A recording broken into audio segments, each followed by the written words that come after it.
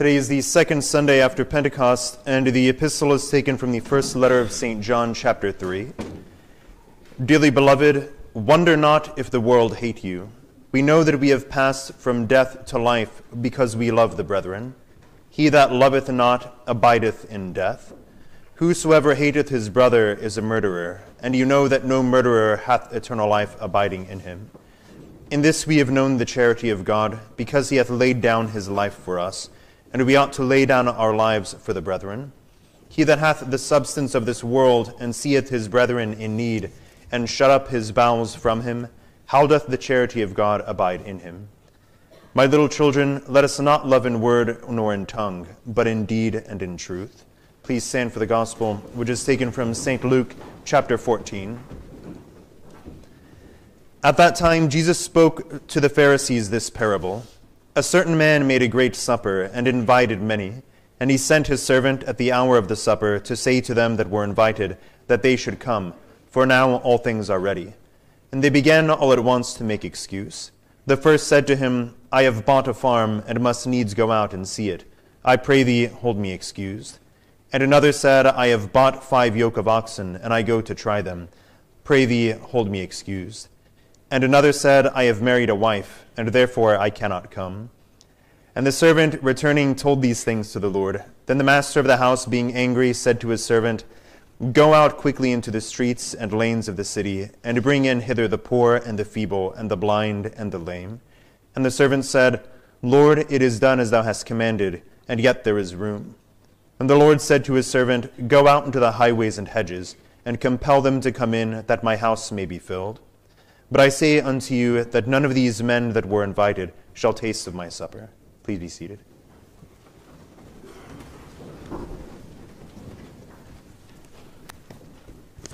There are quite a few announcements. I won't read every single one of them, but we'll start off with the uh, banns of marriage. So, uh, we announced for the first time the banns of marriage for Mr. Bryce Maylou. Uh, have a look at the bulletin for that one if you know him. Uh, he's from uh, Welwyn, Canada. Uh, he's marrying uh, Miss Hannah Field, formerly of this parish, who intend to marry in Canada on the 13th of August. Uh, anyone knowing any impediment to this union is obliged to notify Father McNamara as soon as possible. Also, we announce the banns of marriage for Mr. Simon Peterson and Miss Paige McDonald, both of St. Anthony's. They propose to be married on the 9th of July here at St. Anthony's Church. Anyone who has knowledge of, this, of any impediment to the union is obliged to notify the parish priest, Father Ladner. Uh, we announced for the first time the banns of marriage for Mr. Heinrich Bergstaller and Miss Chantal Piper, both of St. Anthony's, who proposed to be married on the 6th of August at St. Anthony's Church. Anyone who has knowledge of any impediments to the union is obliged to notify the parish priest or Father Ladner. Uh, for the second time, we announced the banns of marriage between Mr. Henry Joseph Delphin and uh, Miss Belinda Mejorada, both from uh, the, our Auckland parish, they intend to get married here at St. Anthony's Church on the 20, 25th of June. Anybody knowing of any impediment to their marriage is obliged in conscience to inform Father as soon as possible. That brings us to the, the next announcement. It's a, it's a small correction. You'll notice in the bulletin on Saturday it has a, an 1125 Mass, but there is a wedding on that day for uh, Joseph and Belinda. So um, the, there won't be an 11:25 mass, but there will be a 10:30 nuptial mass. It'll be it will be a sung mass. So good. No 11:25 mass, just a 10:30 mass. Also, the Bosco cadets will be attending the 9 a.m. sung mass next Sunday on the 26th of June. There will be a parade following the mass, and the boys are asked to bring their backpacks. The second collection for next Sunday, which is the 26th of June, is going to be taken for the SSPX uh, Sisters Novitiate in Browerville to support our New Zealand vocation, Juliana McKenna.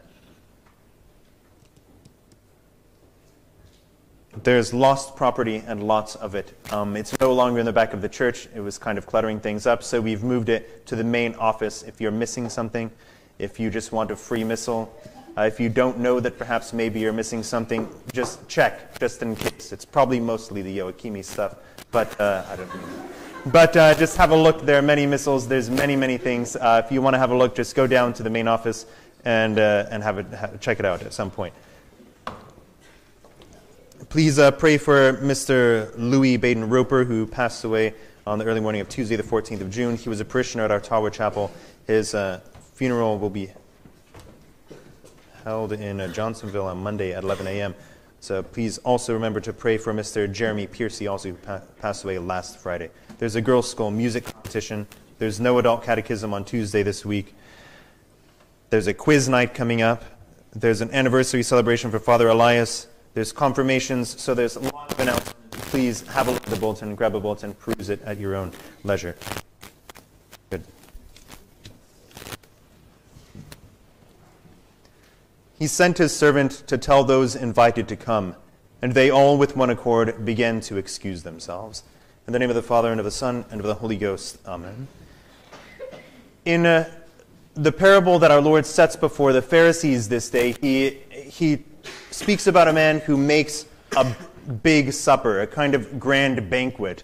He invites those who, he's, uh, who are loyal to him, those who are his friends, to come, at least who he thought was loyal to him, to come to this big meal, and he lays everything out. It would have been a big supper. It was the kind of supper that only, even though we only hear of uh, three um, uh, three people who declined to come, apparently it was enough to feed all of the poor within the city and everybody in the highways and the hedges. So it was a, a big feast. And it would have been set forward at a great expense for the one who was holding it. So he, uh, he would have taken his, uh, his uh, cattle, he would, have, uh, he would have killed them, he would have set them out, he would have got all of his, his food to, to create a very big banquet. And uh, so at the same time, it was, it was a meal, but it was also a sacrifice on the part of the one who was giving it to them. And he invites them to come, and uh, one after the other, they, they decline to come and receive the, the banquet that's offered to them. Now, at face value, I think that the moral of the story of the parable seems to be that if you would like to enjoy the good things in life, don't become a farmer don't buy cattle, and whatever you do, don't get married.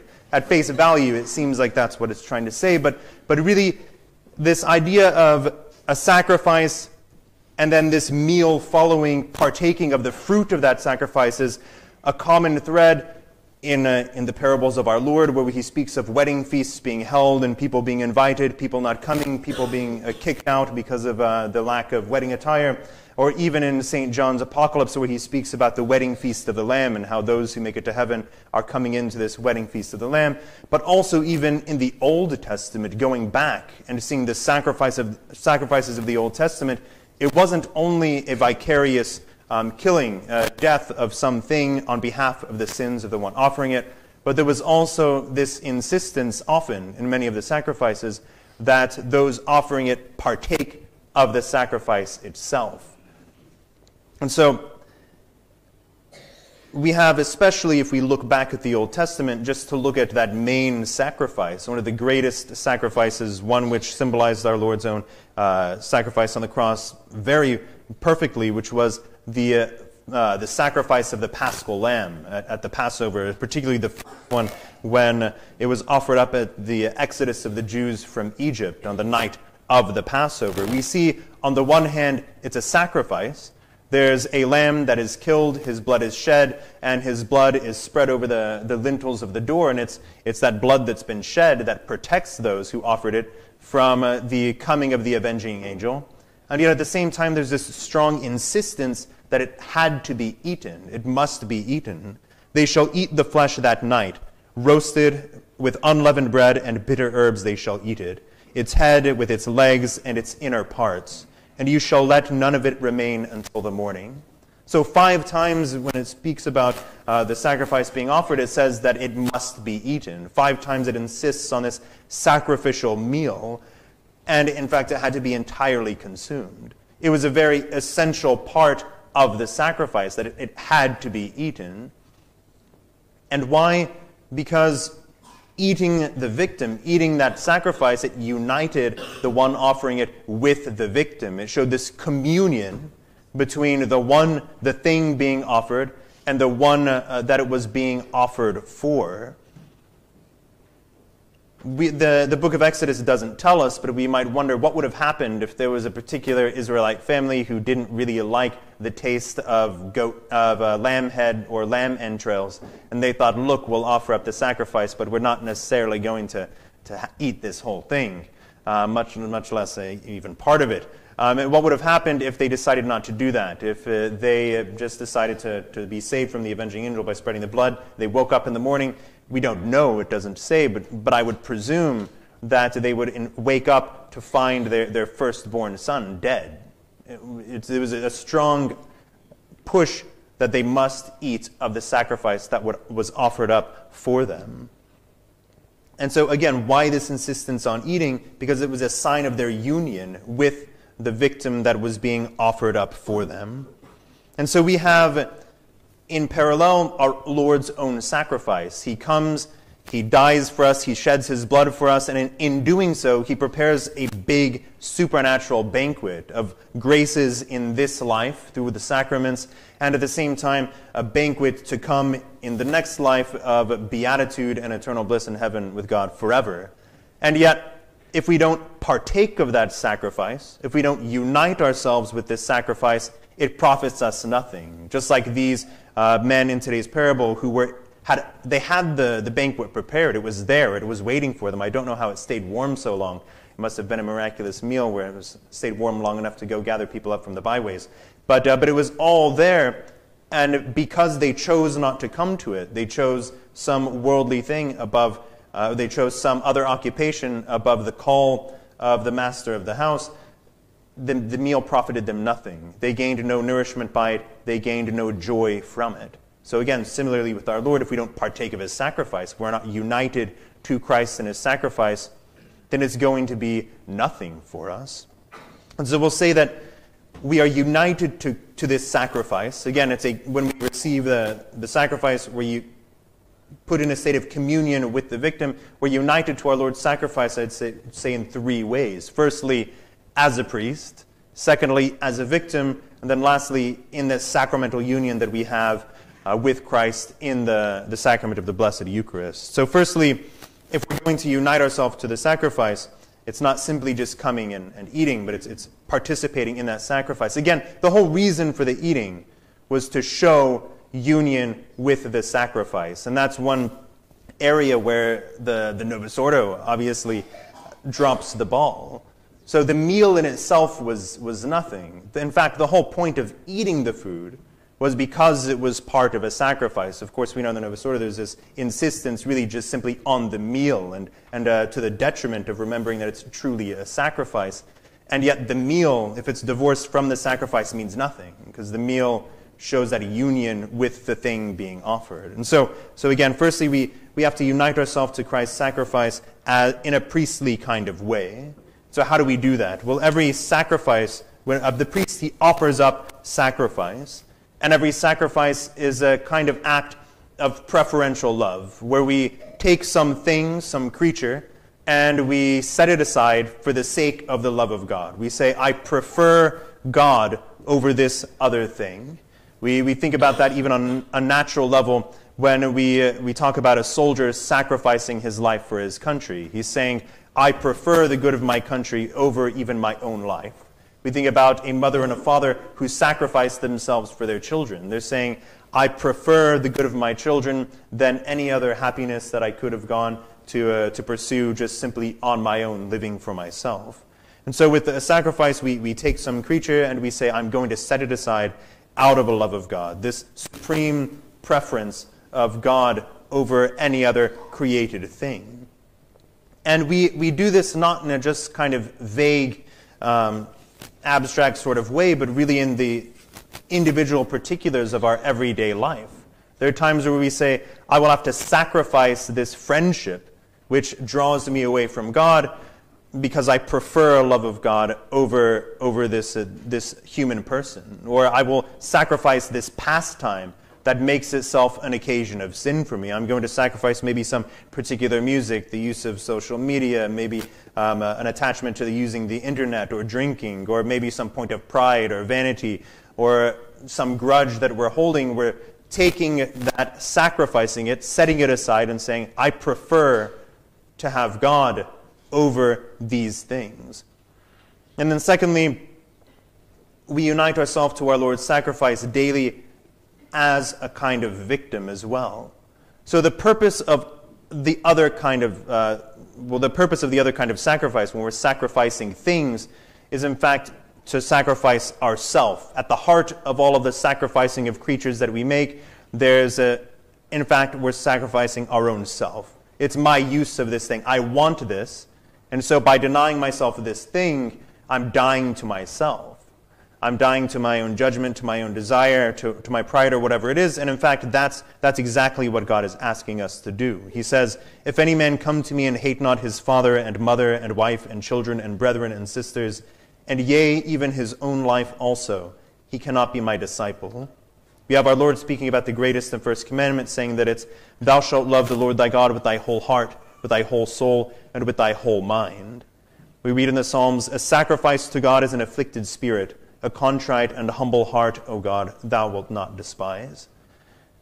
So we, we offer up the main victim that we offer up in a priestly manner as a sacrifice, in fact, is really our own selves, preferring what God wants over what we want, even over what we are.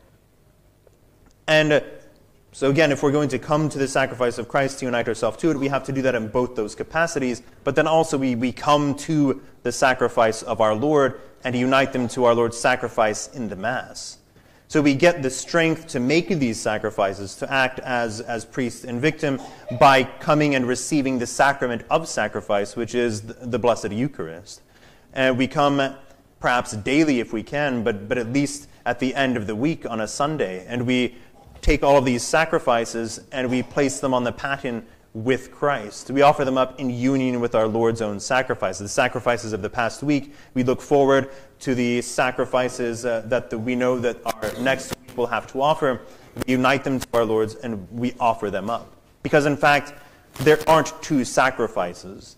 Our sacrifice is not a kind of parallel sacrifice uh, next to our Lord's. It's not even a sacrifice that's just in imitation of our Lord. In fact, it's part and parcel of our Lord's own sacrifice. We say that there's one sacrifice of one Christ. When Christ offered himself up on the cross, he offered his own physical body, but he also at the same time offered up his uh, mystical body, which is the church. And so when we offer up our sacrifices, we're offering up the sacrifice of our Lord. In fact, again, it, it reminds us of a, the word that we use to describe the sacrament, which is communion. It's this union with Christ in his sacrifice. And so we want to take occasion of, of the parable of today for, for us to remember that, that key point. That if we want to benefit from the sacrifice that Christ has for us, we have to come and we have to receive of it. And, by, and we can only receive of it by uniting ourselves to it. We unite ourselves to it as a priest, sacrificing things that get in the way between us and God, showing that preferential love of God above all things, above creatures, above ourselves, and uh, to make sure to do it always in union with our Lord's sacrifice, because it's a single sacrifice. We have uh, St. Peter saying, You are a chosen generation, a kingly priesthood, a holy nation, a purchased people that you may declare his virtues, who hath called you out of darkness into this marvelous light. So we are called by God to be united to our Lord in his priesthood, in his victimhood, and uh, by that reap the benefits from it. The, uh, the people in today's parable didn't gain any of the benefits of uh, the, the meal that was offered for him, even the, for them, even though it was all laid out, because they chose rather some other distraction, some other occupation and they, they lost out on the nourishment, on the enjoyment that came, would have come from joining in this meal. We don't want ourselves to get to the end of our life and never have, have always seen our Lord's sacrifice off and never actually approaching it, never actually receiving of it in Holy Communion often enough, or maybe not receiving of it because not uniting ourselves and by a daily union of, of sacrifice with our Lord. And then being condemned, hearing the words that uh, the master of the house said to those who he had initially invited I tell you that none of those who were invited shall taste of my supper. In the name of the Father, and of the Son, and of the Holy Ghost. Amen.